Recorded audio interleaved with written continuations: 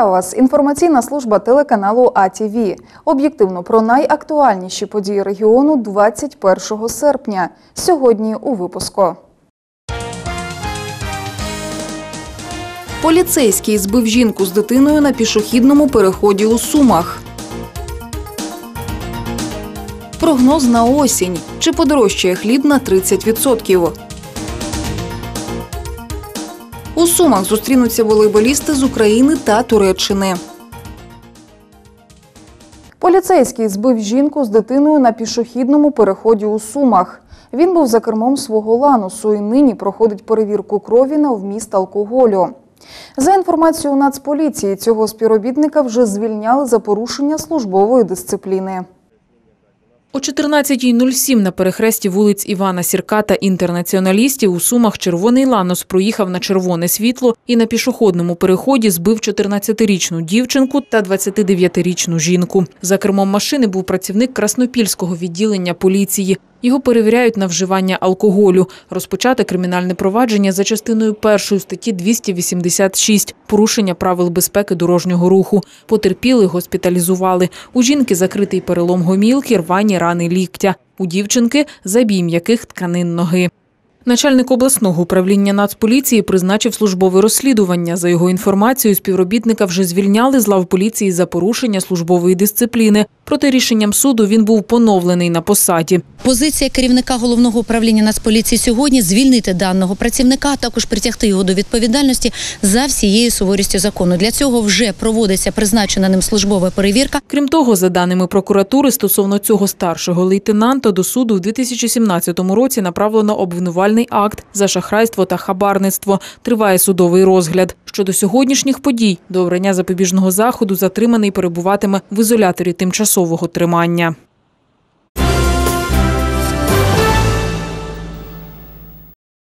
Очисні споруди за європейським зразком.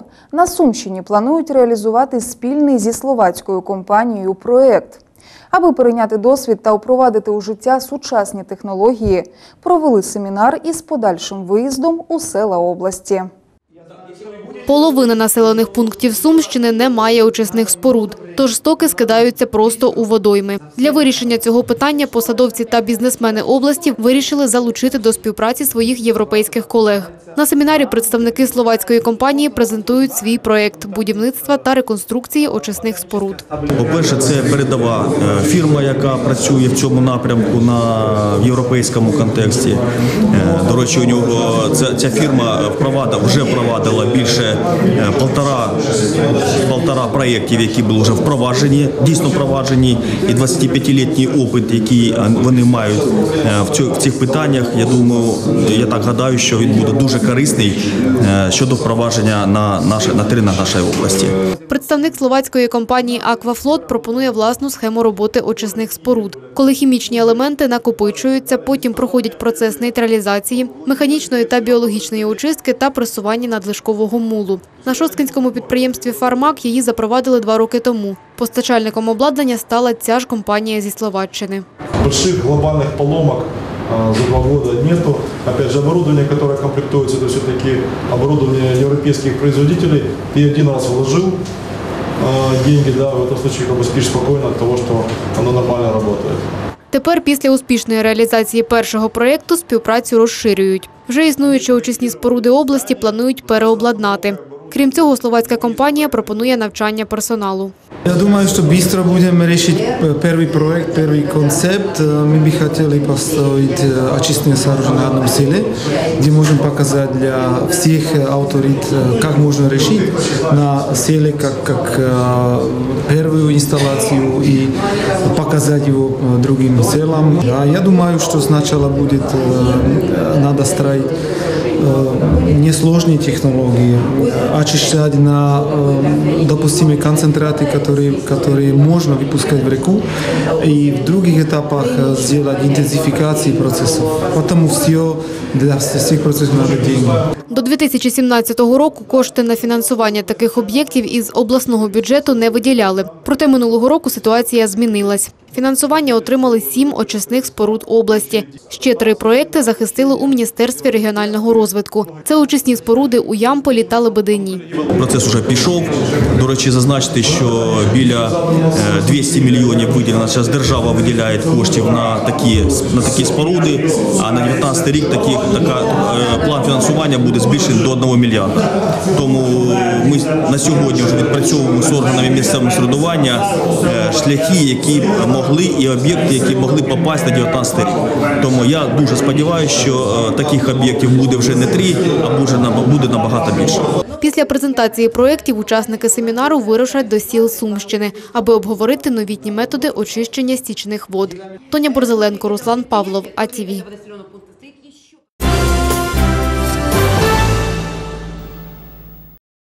Відновити державне регулювання цін на товари першої необхідності та вжити заходів для обмеження експорту продовольчого зерна. Такими пропозиціями представники опозиційного блоку відреагували на інформацію про подорожчання хлібу на 30%. Впевнені, лише так можна стримувати ціни на внутрішньому ринку. Чи можливе подорожчання хлібу восени? Аграрії певні, що так. В Україні не врожай зернових, дорожчає пальне, газ, електроенергія і знову виросло в ціні борошно. За попередніми оцінками голови Всеукраїнської аграрної ради Дениса Марчука, буханка хліба коштуватиме 17-18 гривень. Крім того, слід врахувати втрати на сушіння, зберігання зерна. Дощі в липні погіршили якість збіжжя. Якщо рекомендована вологість зерна е, при збиранні становить ну, 15-16%, е, згідно державних стандартів до якості зерна, вона повинна бути е, 14,5%, не вище, то на сьогодні ми маємо вологість зерна від 20 і вище відсотків.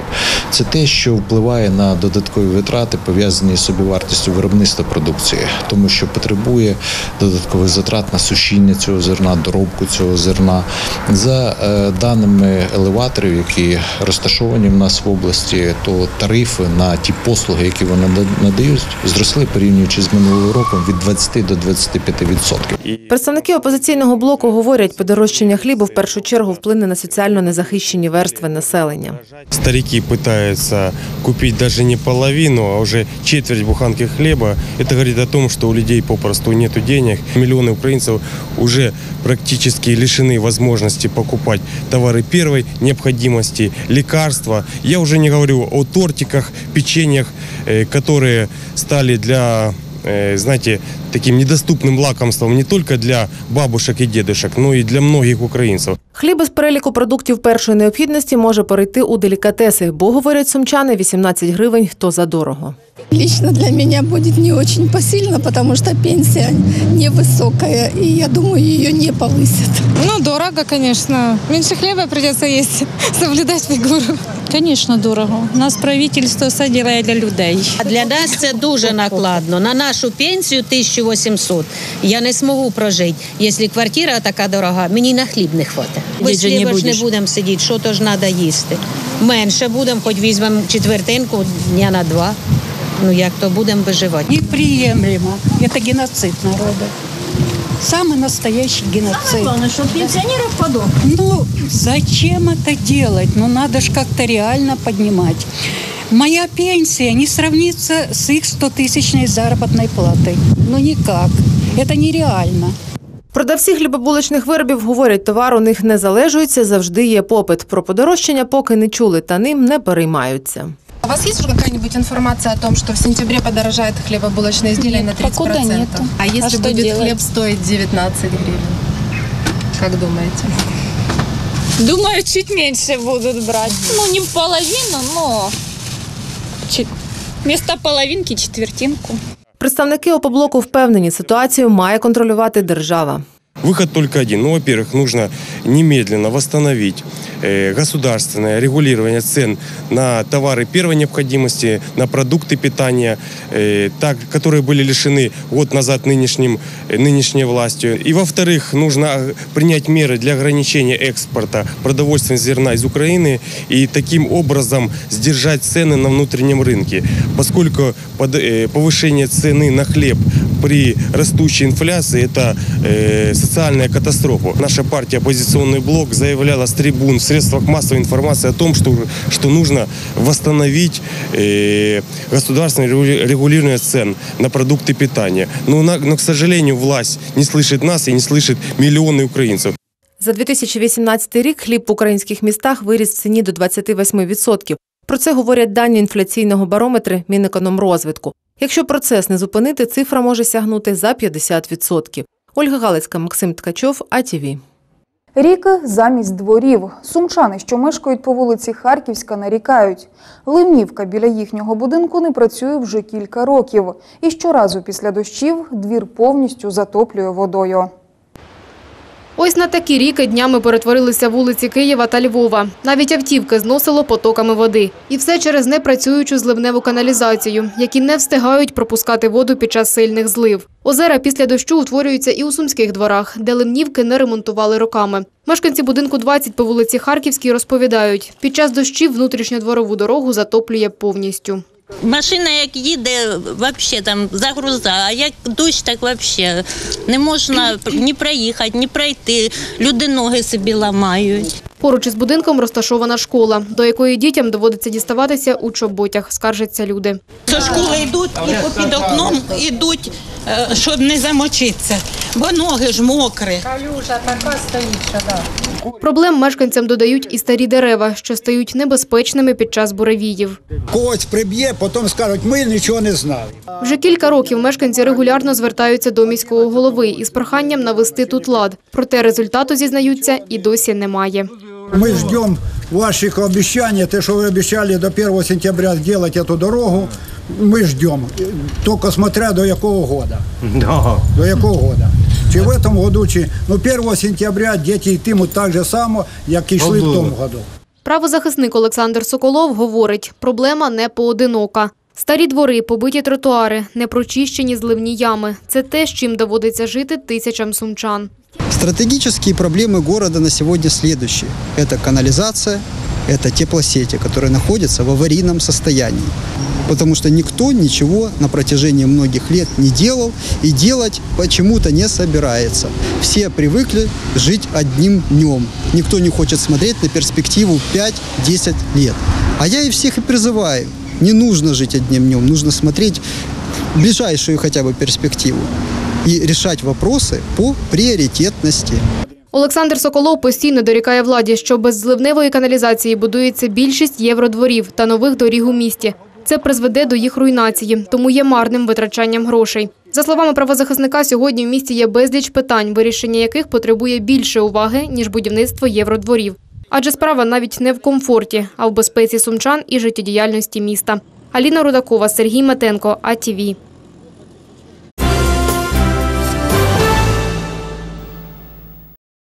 Суми готуються до свят. Що чекатиме на містян в День державного прапору та в День незалежності, розповіли у мерії.